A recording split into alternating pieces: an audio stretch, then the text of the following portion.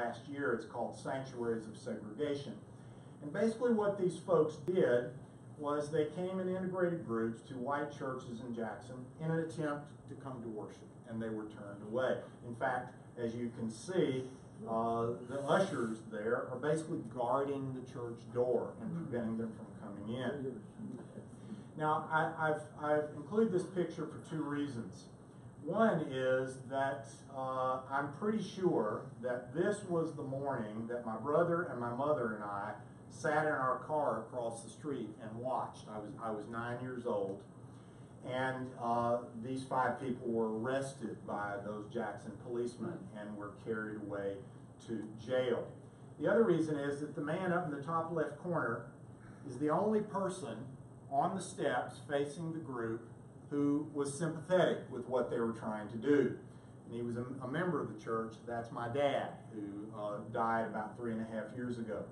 He was a religious professor at Millsaps, as I said. Ed King, the white Methodist minister who was chaplain at Tougaloo and one of the leaders of the Jackson movement, had asked my dad, as a member of the church, to be there to observe. I didn't know this picture existed until about five years ago when my friend Carolyn DuPont's book, Mississippi Praying, was published. And I got my copy in the mail, and lo and behold, the picture's on the cover. I didn't even know that know it existed. Um, so, uh, you know, I grew up in this church, uh, first through fourth grade. We went every Sunday. I had wonderful Sunday school teachers. In fact, uh, my favorite son, the husband of my favorite Sunday school teacher, is the man standing top center with his arms folded right there. And I know, uh, I'm certain that many times I had heard her and other Sunday school teachers say that God loves everyone. So it made no sense to me to see these people arrested just because they wanted to come to church. About two months ago, I participated in a panel discussion at Tougaloo College, the historically black school that was the center of the Jackson movement. This is the chapel in the chapel at Tougaloo. And one of the other panel participants was Ida Hannah Sanders, one of the two black students who was arrested that day. I got to meet the other one, Betty Poole, at an event in Chicago about 10 years ago.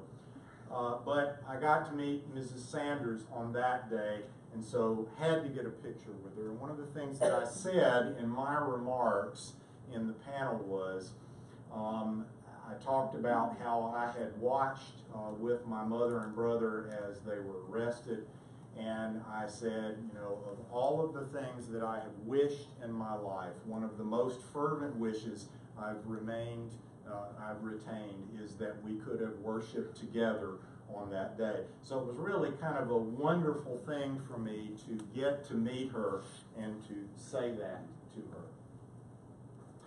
This is a picture of Fannie Lou Hamer, uh, sharecropper from Sunflower uh, County, Mississippi, who, for uh, in my opinion and the opinion of many other folks, is the most important civil rights leader in the state of Mississippi uh, during those years.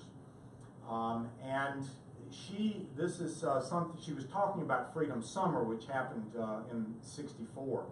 But she said, our prayers and all we'd lived for started to be translated into action. Now we're doing something that, not only, that will not only free the black man in Mississippi, but hopefully will free the white one as well. And I think that's really important because in whatever situation there is where racism continues to exist, of course it harms African Americans. It harms them terribly. But it also hurts white folks spiritually. Uh, as, as long as they are willing to put up with that kind of situation. And folks, we have not solved those problems yet. One last slide. This is a picture of Jack Troutman, one of the signers of Born of Conviction. He was pastor at the Big Point Methodist Church in Jackson County on the coast. His mother, uh, all Mississippi stories involve a lot of, everybody's related to everybody else, even across racial lines uh, often. And uh, the irony here was that Jack's mother was Governor Ross Barnett's cousin. When the Born of Conviction statement came out, uh, she was very disturbed that his name was on it. His brother was so angry at him, he told him, You betrayed the family. So Jack wrote a letter to his mother in February of 1963 and thanked the Lord he saved it. And here's, here's part of what he said to her, explaining why he signed the statement. Is not for the Christian to conform to public opinion, but to let the love of God transform them into the personality of Jesus Christ, who looked upon all people as of infinite worth. Who are we to blame for such radical beliefs? Jesus Christ, who was the most radical and unpopular preacher that ever lived. Thank you.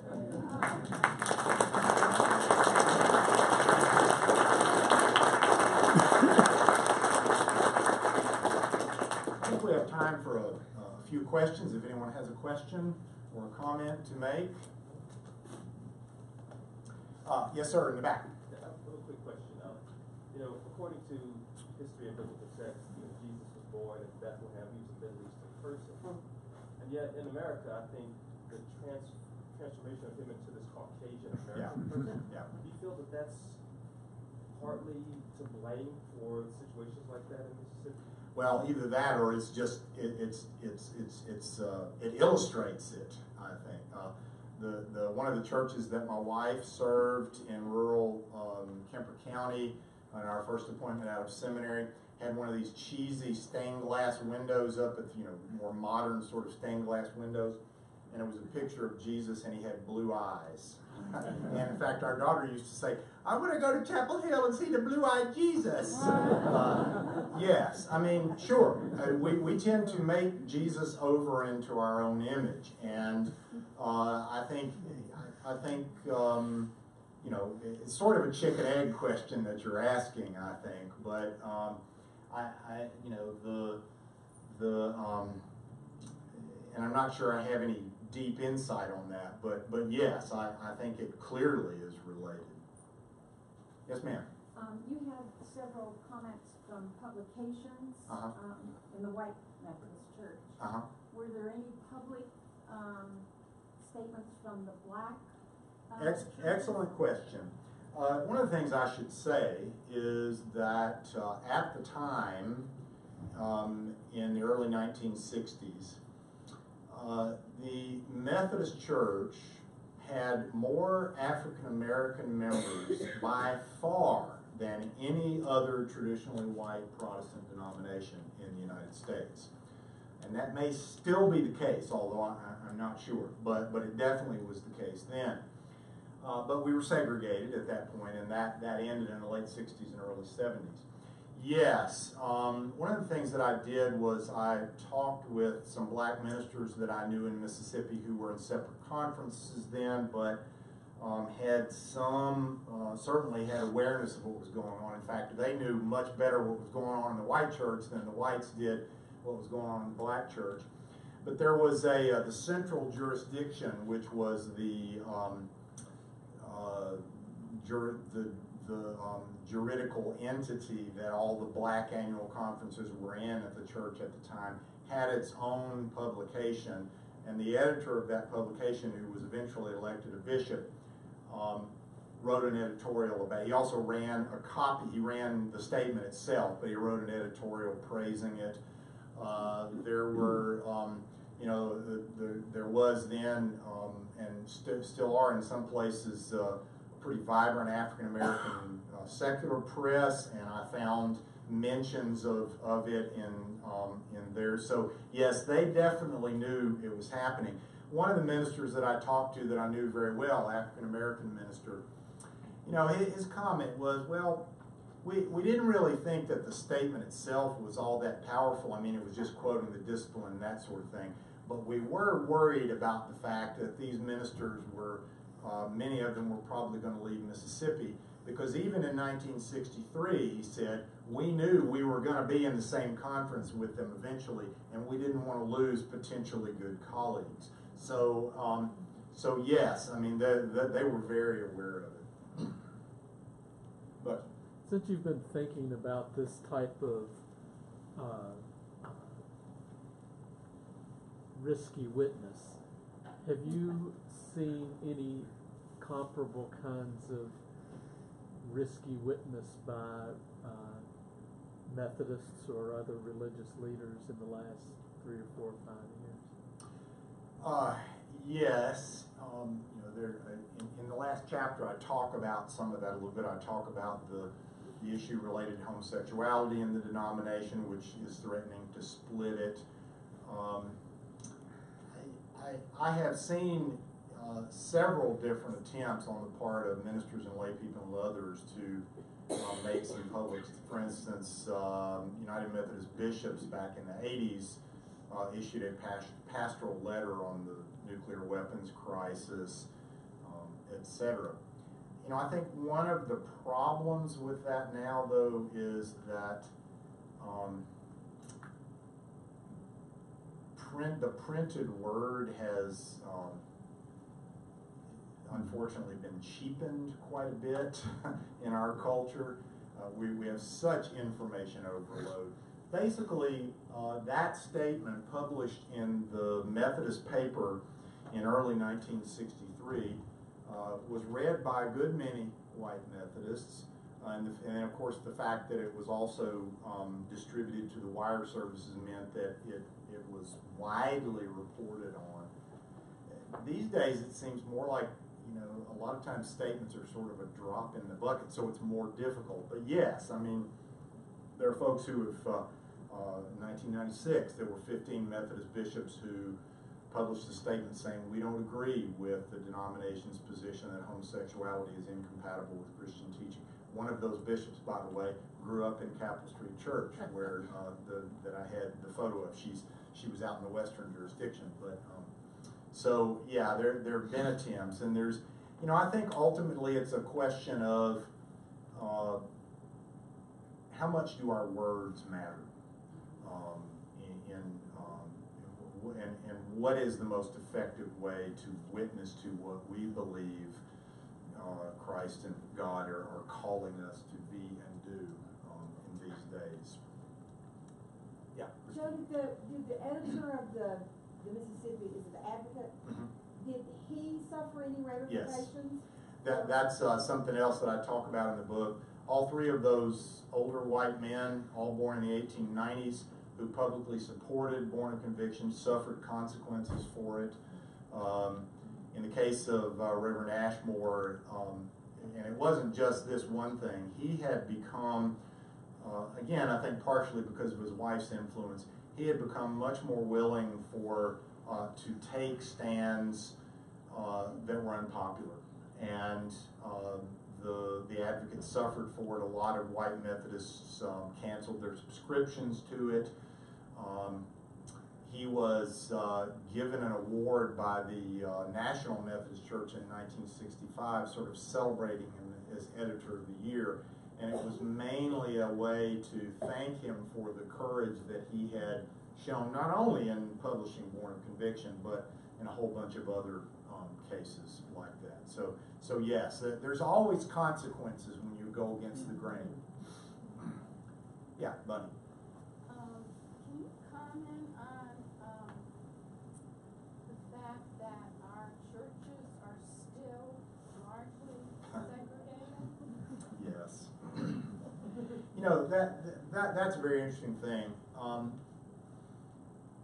one of the absurdities of those, um, church arrests in nineteen sixty-three and sixty-four, one of those, one of the absurdities of that was that, um, you know, all they had to do was let them come in and worship. They, they, they probably wouldn't, I mean, they would have stayed for that service, but, uh, it was, uh, you know, um, you, it is not unusual to find a few African-American members in some white Methodist churches in Mississippi now.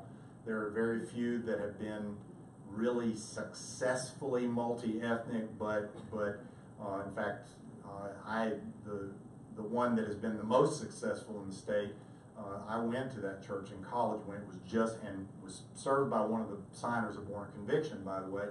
Um, it was uh, one of the first integrated churches in the conference.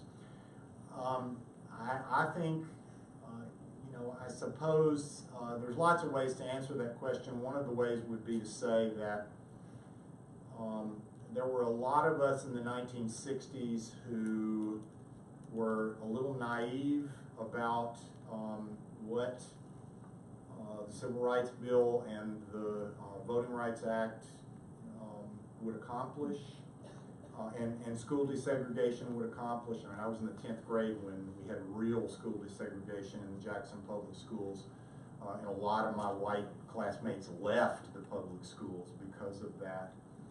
Um, so I, I guess the, the response would be that, uh, one response would be to say that, um, we're still struggling the same stuff. You know, we haven't, I mean, things have changed in many ways, but, uh, then again, uh, you have something like what happened in Charlottesville last August.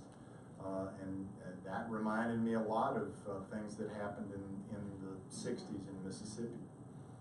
Yes, sir. Jim Rush, one of those twenty-eight, Yes. friend of mine. He's a member of the South Carolina United Methodist Conference. That's I'm a right. member that. What Jim told me was, he's still alive. Yes, he was kicked out of that church. But he says that the Ku Klux Klan sent a letter to the bishop. And the letter said, if any of these ministers are appointed in June to a church, that church will burn down. He said that along about March, April, a church came open. And the bishop said, we're gonna check this out. One of those was appointed to the church. Mhm. That wasn't June yet, but he was appointed and went there, and the church burned down the next week. A white minister? Yes. Hmm. Now, Jim said then, the bishop called him and these others that were on that list from the Klan in and told them, you won't get an appointment in June. I will work to find you an appointment in another conference.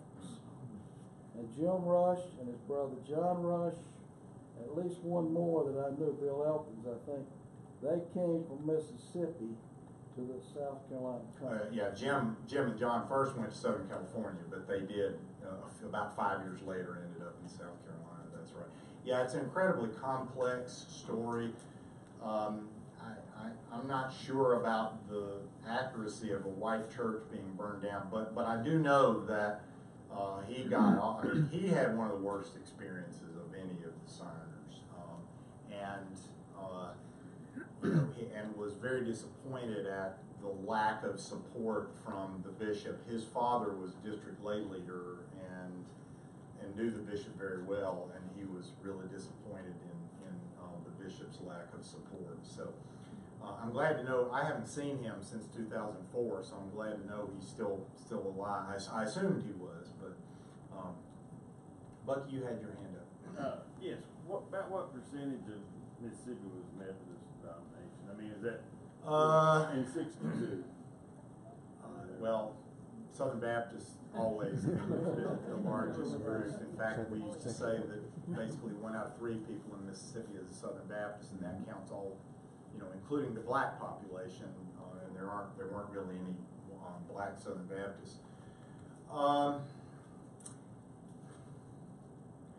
probably about, uh, less than ten percent, maybe eight or nine percent, something like that. Did any of the other churches make any bold statements such as? Uh, you know, it's interesting, um, the, in Jackson, the Catholic and Episcopal churches admitted those interracial groups that came to worship. Um, but for the most part, no. I mean, um, the answer is no. Kind of along that line, are you are you familiar with, or did you become aware of any other similar statements or stances that were taken specifically by Methodist ministers within the southwestern jurisdiction? Uh, yeah, there's about a ten-page section in chapter four on that because, I mean, I, I've often joked that the born of conviction statement is the second best-known white clergy statement for civil rights era, the first one being the statement by the eight white clergy leaders that Martin Luther King responded to in the, um, letter from Birmingham jail. But, um, uh, yeah, the, the, and born of conviction was unusual in that um, many of the other sort of efforts like that were ecumenical. Um, the, the closest sort of um, counterpart was uh, ministers in the Methodist conferences in Arkansas responding to the Little Rock Central High event in 1957.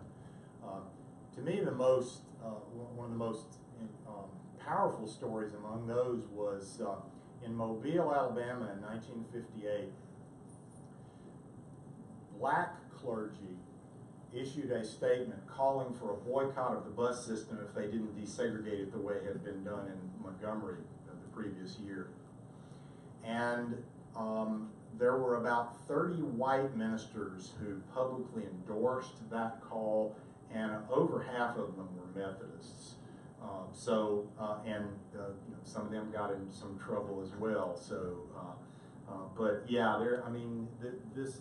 But, but I think to me the reason why this story is so fascinating is because Mississippi was the, as the civil rights folks said, the toughest nut to crack, and um, uh, you know, and uh, so the fact that they did, they published this right at the height of white resistance to three months after the Ole Miss riot, um, all sorts of other stuff was going on that made it the kind of uh, hornet's nest that it was, I think. so, well, thank you for your attention and your questions, and uh, I'll be happy to sign a book for anyone who would like me to. And uh, great to see you all here. Thanks for.